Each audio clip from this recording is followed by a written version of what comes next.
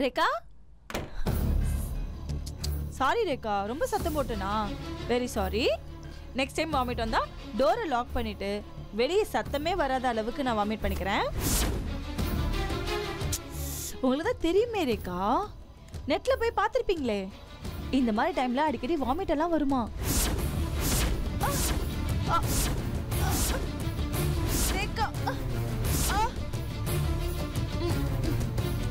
என்ன?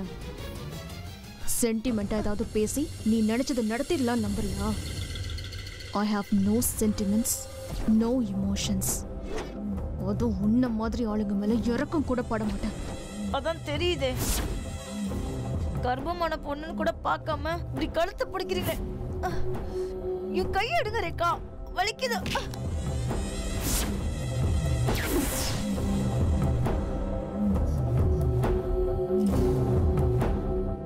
எல்லா ட்ராமாக்கும் இன்னியோட full stop வச்சுக்கோ. இல்ல இந்த வீட்டுக்குள்ள வர்றப்ப எப்படி யாருமே இல்லாத அனாதையா வந்தியோ அதே மாதிரி அனாதையா செத்து போவேன். உன்னை எரிச்சு கரைச்சா கூட ஏன்னு கேட்க யாரும் வரப்போறதில்ல. ம் உண்மைதான். நான் வரும்போது வேணா நான் அனாதையா இருந்திருக்கலாம். ஆனா இப்போ எனக்குன்னு ஒரு சொந்தம் இருக்கு. என் வயதுல நான் சுமந்துட்டு இருக்க குழந்தை இருக்கு. இப்போ நான் அனாதை இல்லை. என் குழந்தையும் ஆனது இல்லை அதுக்கு ஒரு அப்பா இருக்கிறாரு. ஆ!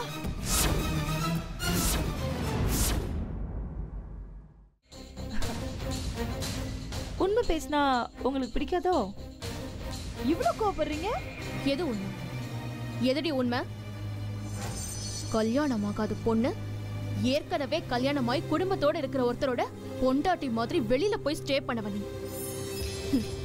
இந்த மாதிரி யார் யார் கூட போய் தங்குனியோ? யாருக்கு தெரியும்? நீ சொல்றது எப்படி உண்மையா இருக்க முடியும்? தப்பு ரேகா. நீங்க பேசுறது ரொம்ப தப்பு. யாருனாலையும் செய்ய முடியாத தியாகத்தை இந்த குடும்பத்துக்காக நான் செஞ்சிருக்கேன். அது தயவு செஞ்சு கொச்சப்படுத்தாதீங்க. ஏய் நிறுத்து. நான் ஏற்கனவே உனக்கு சொல்லியிருக்கேன். இந்த கண்ணீரை வச்செல்லாம் என்னை கரைக்கவே முடியாது. ஆனா நான் எரிப்பேன் ரேகா. மதுரையை எரிச்ச கண்ணகி மார்பை விட என்னோட கண்ணீருக்கு வலி அதிகம். சத்தியமா அழிப்பேன். எரடி பார்க்கலாம். உன் கண்ணீரால எரி.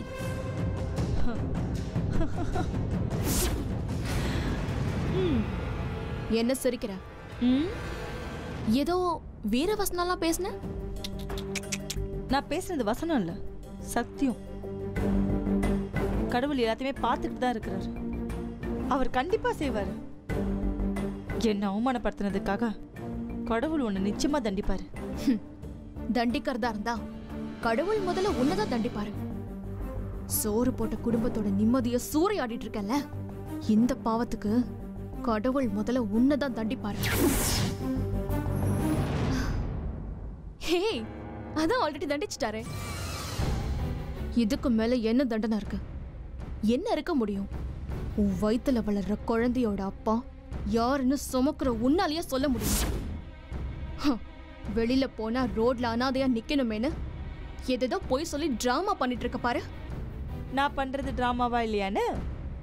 கண்டிப்பா ஒரு நாள் எல்லாருக்குமே தெரிய தானே போகுது ரேகா ஒரு விதத்துல நீ சொன்னது கரெக்ட் கடவுள் எனக்கு இதை தண்டனையா தான் கொடுத்துருக்கிறாரு. இந்த தண்டனையில இருந்து அவரே என்னை விடுதலையும் பண்ணுவாரு. அந்த நாள் உனக்கு நரகமா இருக்கும்.